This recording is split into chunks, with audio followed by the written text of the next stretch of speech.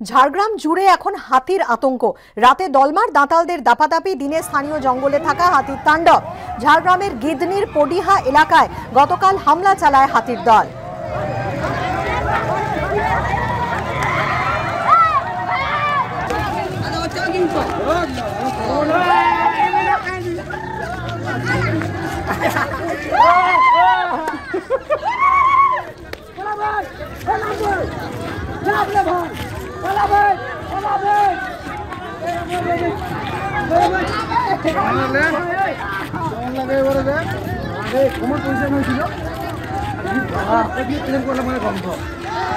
যে ছবি আপনারা দেখতে পাচ্ছেন, আজ সকালে জামবনির শাবলমারা এলাকায় যাত্রী সমেত বাস আটকে দেয় একটি দাঁতাল এবং সুর দিয়ে বাসে ধাক্কা মারতে শুরু করে, যে ছবি আপনারা দেখছেন, আতঙ্কে বাস থেকে নেমে ছুটতে শুরু করেন যাত্রীরা।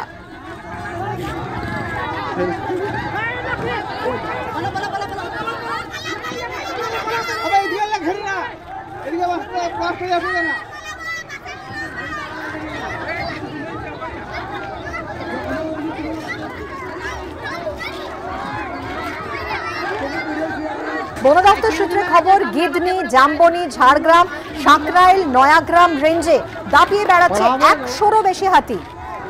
কথা বলব আমাদের প্রতিনিধি অমিতাভ রথের সঙ্গে। অমিতাভ, একশোরও বেশি হাতি দাপিয়ে বেড়াচ্ছে বন দপ্তর সূত্রে। যেমন খবর, কি ব্যবস্থা নেওয়া হচ্ছে এই হাতির দলকে আবার জঙ্গলে ফেরানোর জন্য?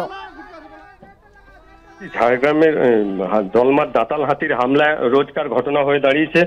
রোজই জঙ্গলমহলের কোথাও না কোথাও দলমার দাতাল হাতি হামলা চালাচ্ছে। গ্রামে ঢুকে পড়ছে খাবারের সন্ধানে এবং ঘর বাড়ি ভাঙচুর করছে, মানুষের প্রাণহানিও ঘটছে।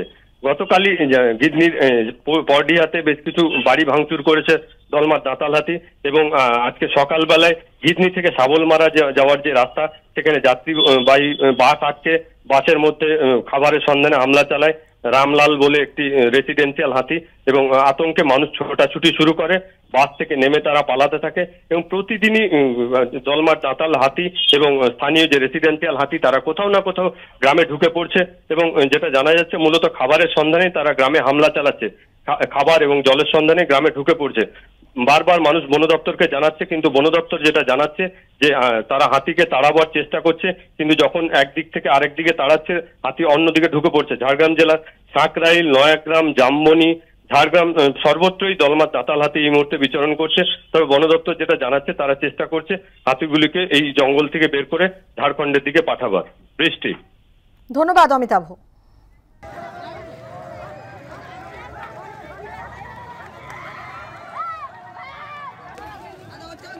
راجل